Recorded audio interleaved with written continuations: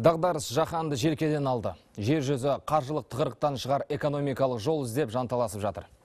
Мемлекет басшысы өзінің нұрлы жол жаңа экономикалық саясатында қазір біз ұлттық қордағы резервтерді пайдалануға тиіс болатын кезең туындап келеді.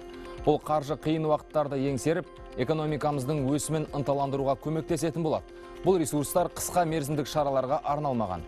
Олар экономиканы әрі қарай қайта құрылымдауға бағытталатын болады. Нақты айтқанда, көліктік, энергетикалық, индустриялық және әлеуметтік инфрақұрылымдарды, шағын және орта бизнесті дамытуға бағытталады деген еді. Демек, жоспарымыз бар, бағыт айқын. Басты қаруымыз индустриалды бағдарлама. Сондықтан нарықта сұранысқа ие болар, өз өнімімізді шығарып, жұмыссыздыққа жол бермеуге тиіспіз.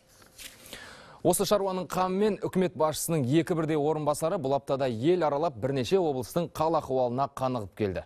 Бірінші вице-премьер Бақытжан Сағынтаев Шығыс Қазақстан, Павлодар, Қызылорда мен Оңтүстік Қазақстан және Ақтөбе облыстарына барды.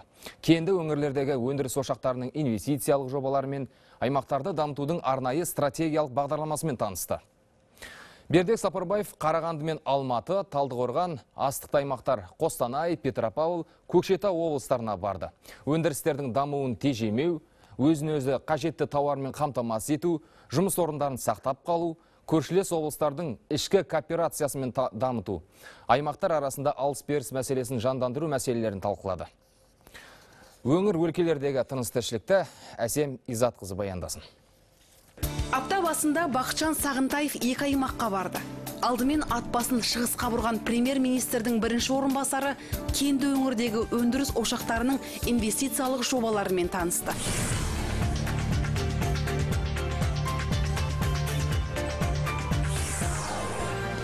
Өндірістің өрісін кеңейтейік, Қазақстанда жасалған тауарды қолдайық, жалаң ұранмен емес, кәсіпкерлерге көмекті іспен көрсеткеніміз жөн.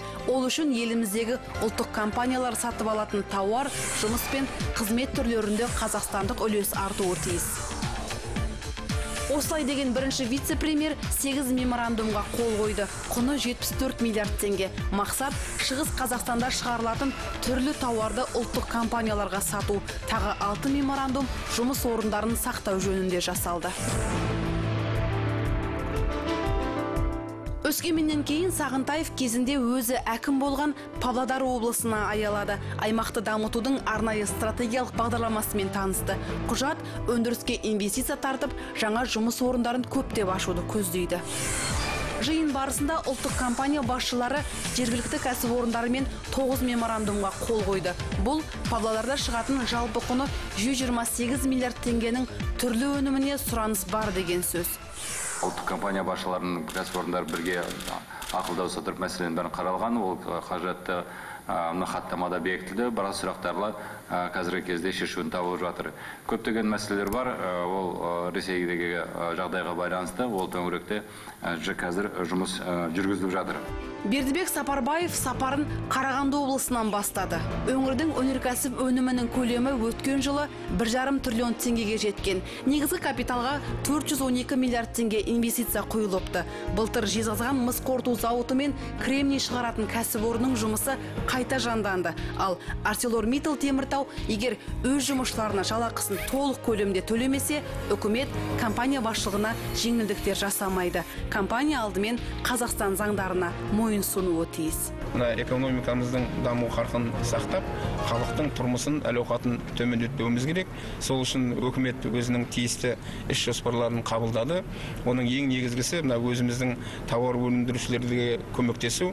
Әсіресе мынау тариф жағынан мынау жарыққа көлікке одан кейін оларды өзіміздің мынау өнімдерменен қамтамасыз ету. Жамбыл фосфор зауыты әлемнің 33 мемлекетіне 20 түрлі өнімін саудалап отырған өңірдегі ең ірі өндіріс. Өткен жылмен салыстырғанда зауыт өнімділігі биыл айтарлықтай артқан. Кәсіпорын келер жылы экстракциялы фосфор қышқылын шығаратын жаңа өндірістің алғашқы кезеңін аяқтамақ.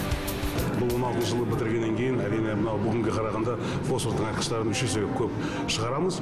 Бұл бірінші кезеңі екінші кезеңін жиырмасыншы жылға бітіріп жиырмасыншы жылы осы казахстан компаниясы бір миллион тоннаға жуық тыңайтқыш шығарады. Сапарбаевтың жамбыл облысындағы сапары бірнеше меморандумға қол қоюмен қорытындыланды. Құжатқа сәйкес өндіріс орындары еңбек заңдылықтарын қатаң сақтауға міндетті. Бақытжан сағынтаев қызылорда мен оңтүстік қазақстан облыстарында аралады. Сыр өңірінде былтыр өңдеу өнеркәсібі бойынша 73 миллиард теңгенің өнімі өндірілді. Бұл 2013 жылмен салыстырғанда 7,9 процентке артық. Ал мұнай газ бағытында отандық тауар мен қызмет түрлерін пайдалану көлемі 77,2 процентке жеткен. Шетелден инвестиция көптеп тартылады. Қазірдің өзінде еуропа қайта құру және даму банкімен жалпы құны 63 миллиард теңге болатын 8 жобаға қол қойған. Бастамасы э, қызылордадағы э, 39 миллиардтың көлемінде э, қол қойылуға э, бүгін жоспарланып отыр. Ол енді бүгінгі күнде қол қойылатын қырымбек мен ойлаймын әрі бұл жұмыс өзін ары қарай э, жалғасын тауып э, бұл э, сома тек қана сол күйінде ғана қалып қоймайды. Екінші мәселе бұл тек қана э, қол қойылып қана қалмау керек бұл іс жүзінде жүзеге асырылу қажет. Ұлттық компаниялар отандық өндірісті қолдап жергілікті тауарларды тұтынғаны жөн. Осыған орай қызылорда облысы әкімдігі мен ұлттық компаниялар арасында жалпы құны 39 миллиард теңге болатын 9 меморандум қабылданды. Бизнес-сообщество хорошо известно. Ваш үкіметтің қолдауын кәсіпкерлер жақсы сезініп отыр. Біз бұл орайда үлкен рахмет айтамыз. Және сырбойлық бизнес өкілдері әлеуметтік жауапкершілікті жақсы түсінеді. Ал әлеуметтік ахуалды ұстап отыру үшін жұмысшылар қысқартылмауы керек. Жалақы уақытылы берілу қажет. Біз осыны қамтамасыз етеміз. Ал оңтүстік қазақстан облысы еліміздегі қуатты индустриалды аймақтың бірі. Индустрияландыру картасы аясында құны 1,2 триллион теңгені құрайтын 223 жоба іске асырылуда. Олардың 65 проценті ауылдық жерде орналасқан. Өндіріс өркендейді жұмыссыздыққа жол жоқ. Вице-премьер сапарбаев талдықорған және қостанай өңірлеріне жұмыс сапары барысында осы мәселелер талқылады.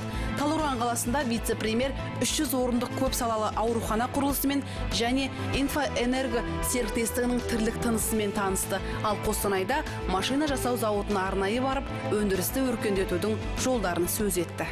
Ең негізгі мақсат жаңа айтқандай халықты жұмыспен қамтамасыз етуіміз керек. Үкімет тиісті іс шаралар қолданып жатыр.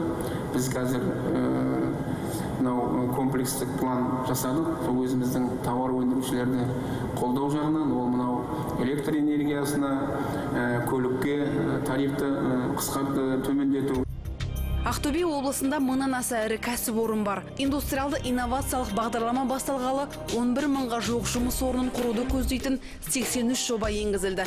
Ендігі міндет отандық өнім өндірушілерді жан жақты қолдау. Жиында премьер министрдің бірінші орынбасары бұл үдеден толық шықпай отырған кәсіпорындарға ескерту жасады. Как тогда вообще нашу программу инвестиционно-инновационного развития дальше продвигать? Біздің индустриалды инновациялық бағдарламалар сәтті жүзеге асу үшін ірі компаниялар алдымен отандық өнім түрлерін сатып алу керек. Бағдарламалар аясында көптеген зауыттар, кәсіпорындар ашылып жатыр. Олардың тауарларын сіздер бастап алуларыңыз керек. Отандық үлесті арттыру деген міне осы. ақтөбедегі алқалы жиынның түйіні ұлттық компаниялар мен ірі кәсіпорындар арасында жалпы сомасы 44 миллиард теңге болатын жеті меморандумға қол қойылды бердібек сапарбаев теріскейге де барды. Көкшетауға кірді петропавлда болды. Өңірлердегі ірі өндірістердің тыныс тіршілігіне қанықты. Солтүстік қазақстан аграрлық аймақ болғандықтан ауыл шаруашылығы тауарларын өндіру ісі қарқын алу қажет деді үкімет басшысының орынбасары. Ұлттық компаниялардың жұмысын әсіресе мына өзімізден шығатын өнімдерді тауарларды басқа жерден алмай өзімізден алып мынау енді жұмыс орындарын қысқартпау үшін жалпы өкіметтің қазіргі ә, таңдағы жасап жатқан жұмыстарын білесіздер. Өкімет арнайы ә, іс-шара қабылданды қабылдады. Ондағы мақсат сол өзіміздің тауар өндірушілерді қолдау көмектесу. Әсіресе мынау тариф жағынан өзіміздің шығарып жатқан өнімдер жағынан. Оңтүстік солтүстік шығыс пен батыс деп бөлуден аулақпыз. Қазақстан ортақ. Әр өңір өмірдің ағымына сай даму керек тежелмеуі тиіс. Үкіметтің мақсаты осы. Әсемизат қызы аптакезі.